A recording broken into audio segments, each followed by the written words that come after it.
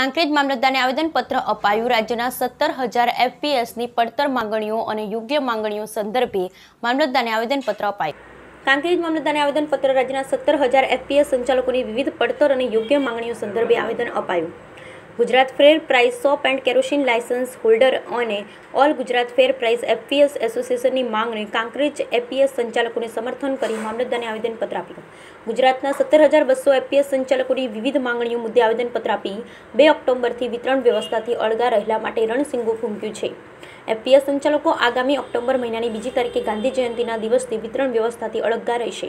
રાજ્ય બે એસોસિએશન દ્વારા સંયુક્તપણે માનનીય સરકારશ્રી અને તેના જુદા જુદા મંત્રીઓને એફપીએસ સંચાલકોની વિવિધ પડતર અને યોગ્ય માંગણીઓ સંદર્ભે આવેદન આપેલ છે અને જોડેલ છે બાબતે એફપીએસ એસોસિએશન કાંકરેજ તાલુકામાં જોડાયેલા નેવું એફપીએસ સંચાલકો સમર્થન જાહેર કરે છે. ગુજરાતભરના દુકાનદારોની વિવિધ માંગણીઓ સંતોષવામાં નહીં આવે તો બીજી ઓક્ટોબરથી તમામ દુકાનદાર વિતરણ વ્યવસ્થાથી અળગા રહેશે. તે દરમિયાન અનિચ્છનીય બનાવ બને તે તમામ જવાબદારી સરકારની રહેશે. Bureau report Baldevrao, મિરજંગ news, Banaskantha. સરકાર દ્વારા ચલાવવામાં આવતી જાહેર વિતરણ વ્યવસ્થા અને એ વિતરણ વ્યવસ્થાને સુદૃઢપણે ચલાવવા માટે ગુજરાત રાજ્યના સત્તર હજારને બસો જે દુકાનદારો છે, જેને અત્યારે આપણે એફપીએસ હોલ્ડર તરીકે જાણીએ છીએ. હવે આ એફપીએસ હોલ્ડરને દુકાન ચલાવવા માટે જે ખર્ચ પડે છે, તે ખર્ચ અથવા તો જે દુકાન ભાડું છે, અત્યારે સામાન્ય જોઈએ તો ગ્રામીણ વિસ્તારની અંદર દુકાન ભાડું પાંચ હજાર રૂપિયા હોય છે, તો શહેરી વિસ્તારમાં દુકાન ભાડું દસ હજાર રૂપિયા પણ હોઈ શકે છે. એ દુકાન ચલાવવા માટે એક તોલાટ પણ જોઈએ છે, તોલાટને પણ પગાર આપવો પડે છે. દુકાનદાર પોતે સક્ષમ ના હોય, તો એક કોમ્પ્યુટર ઓપરેટર પણ જોઈએ છે. એ ઓપરેટરને પણ પગાર આપવો પડે છે.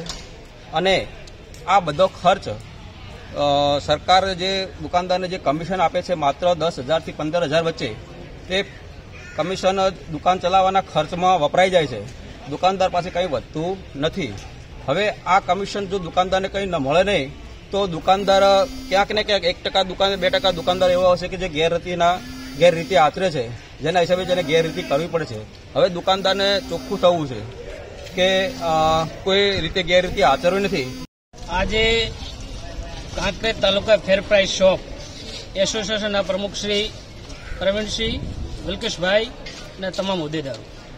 રાજ્ય એસોસિએશન બંને દ્વારા જે પણ માંગણીઓ સરકાર દ્વારા અમે જે જે મુદ્દાઓ માગ્યા છે, તે મુદ્દાઓ સરકારશ્રીને અમે અલ્ટિમેટમ આપ્યું છે કે પહેલી તારીખ સુધી જો અમારા માંગણીઓ સ્વીકારવામાં નહીં આવે, તો બે ઓક્ટોબરથી ગાંધી જયંતિના દિવસે ગાંધી માર્ગે અમે